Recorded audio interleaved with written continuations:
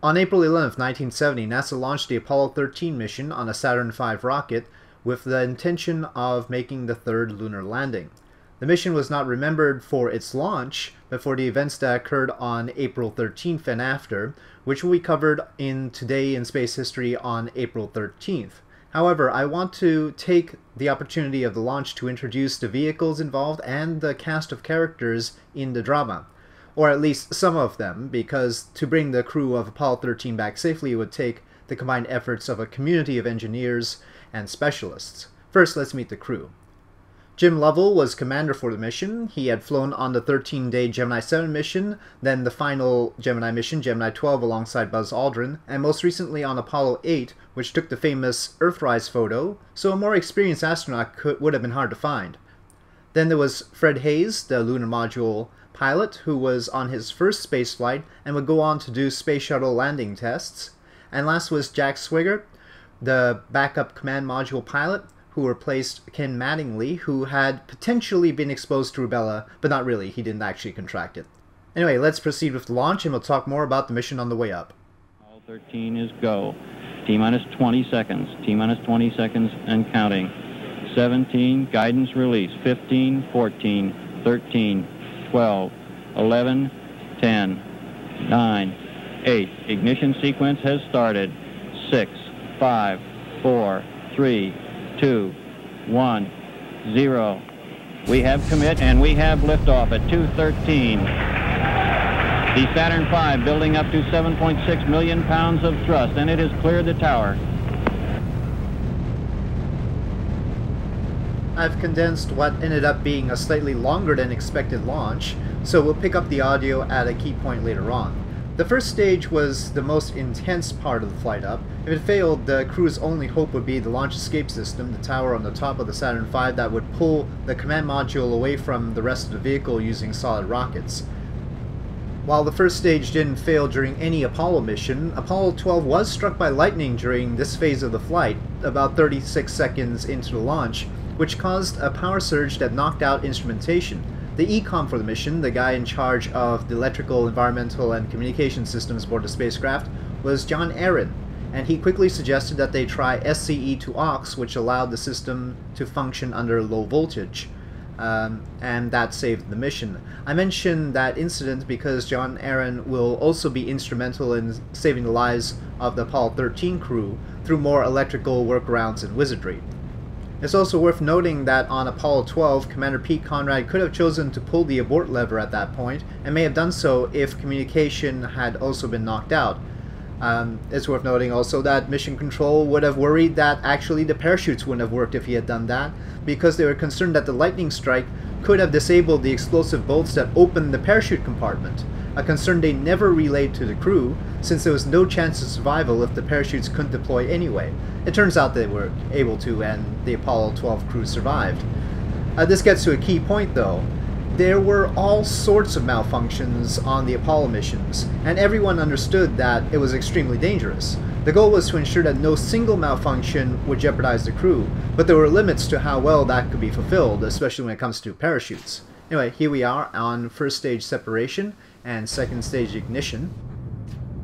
And we see skirt sep there. You can see from this angle that there are five engines on the second stage, one on the inside and then four on the outside. They're J2 engines. Here we have the launch escape system being jettisoned, as it is no longer useful in this phase of flight. This is potentially the most dangerous part of the mission because should the second stage fail, Uh, such that it needs to be shut down, the vehicle is not yet at the point where the remaining stages can carry it to orbit necessarily. At a certain point during the second stage burn, the crew gets a S4B to COI call, which indicates that they can abort to orbit using the third stage. Now, as it so happened on Apollo 13, the second stage did have an issue. And actually, all the second stages up to this point actually had an issue, but they didn't really fully realize the, the severity of it. Anyway, at around the time of the S4B to COI call, the center engine of the stage shut down two minutes early. Let's listen in starting at 5 minutes and 40 seconds after launch. 13 Houston, standby for S4B to COI capability. S4B to COI, roger. Roger, you've got it now, Jim. We've got S4B to COI. Uh, booster reports that the inboard engine uh, shutdown was a bit early. Uh, we're continuing to burn on the uh, four outboard engines. 13. Go ahead, sir. And uh, here's the, what's the story on engine 5? Jim, uh, Houston, we don't have a story on why the inboard out was uh, early, but the uh, other engines are go and you're go. Roger. The story, as it turned out, was that there were pressure oscillations in the fuel lines and the turbopump, resonating at a frequency of 16 Hz, 16 waves per second. When oscillations resonate, they amplify, and in this case, it was enough to warp the thrust frame by 3 inches. Engineers knew about these pogo oscillations and were already developing ways of fixing it, including adding helium to stabilize the fuel flow and reduce pressure variations. But clearly, those engineers did not expect the severity of the effect in this mission. As we see here the second stage go out, the troublesome second stage being discarded in favor of the third stage, which has just one J2 engine. If the guidance system hadn't sensed fluctuations in the center engine's thrust chamber and shut it down, the crew would have been in even greater danger than they eventually will be once we get to April 13th. In later Apollo missions, the helium was added and the propellant valves were simplified and other measures were taken to alleviate the problem. The net result for Apollo 13 was that it took a little bit longer to get to orbit because they had to burn the second stage for longer and use a bit more of the third stage. Here we see the third stage shut down as they reached their intended orbit, their parking orbit, and it was retained because it would be relit for the translunar injection, which would bring them to the moon. And so we'll see here in a moment, it's relit for that purpose. And here they are making their way to the moon. And this is only a couple of hours after the launch. This seems like a good time to introduce a couple more in our cast of characters except for the crew and John Aaron. First is Gene Kranz, the lead flight director who is in charge of mission control and critical in keeping up morale and focus. After uh, the accident, he immediately brought in his mentor, uh, Chris Kraft here, NASA's first flight director, to help organize efforts, much of which had to happen outside of mission control. As with the entire Apollo program, however, success or failure ultimately depended on thousands of people I can't name, who got as little sleep as the crew between April 13th and April 17th, and who had to use what technology they had to bring the crew home safe despite a huge hole in part of their spacecraft. But through the translunar injection, everything seemed to be going fine. Uh, the issues with the second stage completely forgotten at this point, and they had no bearing on the accident that was to come. And so the the mission uh, coasted along with one more important event to take place on April 11th, which was the separation of the command module and then docking with the lunar module so that the command module could pull it away from the third stage and get get on its way to the moon. So we'll see that in a moment here. So here is what the mission looked like before this separation and we will see the fairings on the side of the lunar module separate and the command module move forward as it is decoupled from the top of the lunar module and then it has to flip around and dock up again. This gives us a chance to talk about the actual spacecraft, uh, aside from the Saturn V that we've been uh, looking at for most of this. Uh, so the very top of what we see here, the furthest to your left, is the command module, and the cylindrical tank it is attached to, along with that engine, is the service module. They are separate modules, and the command module is essentially insulated from the service module thanks to the heat shield uh, but there are umbilicals that uh, connect it to the service module that provide power and um, other systems, especially life support. And so here you see the command and service module, collectively named Odyssey, by the way. So the command and service module, the CSM here, is called Odyssey.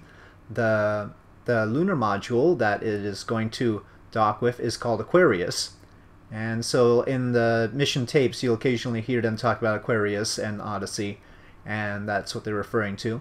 Here we have a camera of the, the docking taking place from Apollo 13, so it is Apollo 13 specific footage, and you can see uh, both the simulation and footage sped up by four times. Uh, they were very careful about the docking, and so was I, because it's, it's tricky business and you don't want to mess it up. So here, uh, the command and service module is docking with the lunar module. The lunar module, of course, was what was going to land on the moon, but it ended up being the lifeboat for this mission. Uh, because while the service module had its life support systems uh, eviscerated by the explosion, uh, the lunar module still had its life support systems, and they would have to rely on that in order to survive. But the lunar module was only built for two people because two people go down to the lunar surface and of course it wasn't meant to have life support for six seven days. It was only meant to have life support for uh, two three days. So that is part of the rub and part of what all those people down on the ground are going to have to solve. How to get the lunar module to help these guys survive for as long as they need to. But here we go. The command and service module pulling the lunar module out of the third stage and now this is the spacecraft that is going to head to the moon. Actually, the third stage also heads to the moon. The third stage that they are leaving behind there uh, ends up uh, smashing into the lunar surface. And uh, they actually, uh, the instruments from the previous Apollo missions were set to detect the seismic uh, shocks from the tank exploding on the surface of the moon. So that's just an interesting little tidbit. But here they go leaving the vicinity of the Earth and heading towards the moon, having no idea the peril they were in, that they were in basically from launch, actually. Uh, the problem with the service module was there right from launch, and uh, they could have done things, uh, if they had known that there was a problem, they could have done things to prevent it, but as it was, they had no idea. Completely unaware of what was going to happen in two days' time here. So, uh, with that, uh, we will see what happens in the video on April 13th, which will cover Houston, we've had a problem, and what happens after. Thank you for watching this presentation of Today in Space History for April 11th, the Apollo 13 launch. The non-Kerbal Space Program footage was courtesy of NASA, and special thanks to Frizzank for the Apollo Saturn V rocket model that was used in this video.